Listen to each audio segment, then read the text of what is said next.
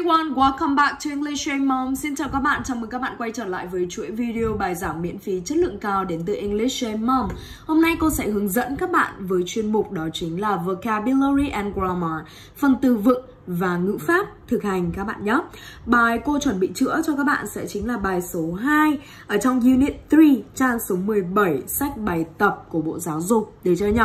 Vậy nhanh chóng là chúng ta sẽ mở giúp cô vở ra này cầm ngay cái bút và chuẩn bị học cùng cô. Ok, khi mà học cùng cô thì các bạn sẽ lưu ý hôm nào cũng thế cô sẽ hướng dẫn rất là nhiều về phần uh, ngữ pháp. Thì cô đã có video riêng rồi đúng không? Vậy cô sẽ hướng dẫn thêm nữa về phần âm.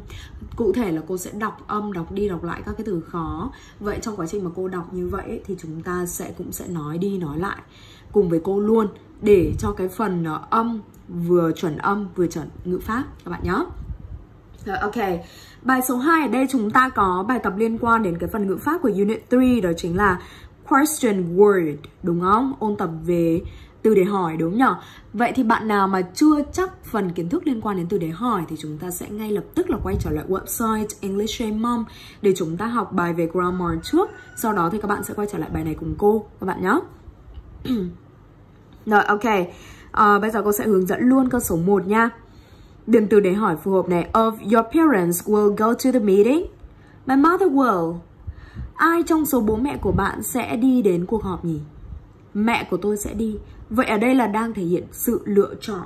Đúng không? Sự lựa chọn người này hay là người này. Người nào. Đúng không nhỉ? Vậy để thể hiện sự lựa chọn như thế thì chúng ta sẽ điền từ để hỏi là which. Các bạn nhớ. Để thể hiện sự lựa chọn như thế thì chúng ta sẽ sử dụng từ để hỏi là which. Được không nhỉ? Rồi con số 2. Color is the symbol of luck for the Hoa people. Đó, người Hoa thì có cái màu biểu tượng cho cái sự may mắn là màu gì? Màu gì đúng không? Vậy chúng ta sẽ có là what color? What color? Đúng không? Red is, right? Rồi, number 3. Chúng ta sẽ luôn luôn nhìn vào câu trả lời trước các bạn nhé. About 150 meters long. Khoảng 150 mét. Đúng không nào? 150 mét có nghĩa là chúng ta đang muốn hỏi về chiều chiều dài đúng không? Chiều dài dài bao nhiêu đấy? Đó, vậy thì chúng ta sẽ hỏi với how gì nhỉ? How? How long, right? How long is a long house of the Ed people? Ok, được chưa nhỉ? Rồi câu số 4 nào. Woman do. Trả lời về người như thế này thì chắc chắn là từ để hỏi sẽ là who. Right. Who. Ok. Tiếp theo câu số 5 này. Is the Hoa Ban Festival of the Thai people held in lunar February. In cộng với time như thế này thì chắc chắn từ để hỏi sẽ là when, right? Về thời gian thì từ để hỏi sẽ là when. Đúng không nào? Rồi, number six. Mainly in Nghệ An province. Chủ yếu là tỉnh Nghệ An. Vậy, câu trả lời về địa điểm thì câu hỏi sẽ là về về nơi trốn đúng không nào? Ở đâu đúng không? Vậy ở đây sẽ là where. Where, đúng không nào? Rồi, câu số 7. It's about 7 kilometers. It's about 7 kilometers có nghĩa là khoảng 7 km đúng không nhỉ? 7 km thì chúng ta sẽ hỏi với how gì? À, hỏi bao xa đấy. Bao xa là how? How far? Right. How far?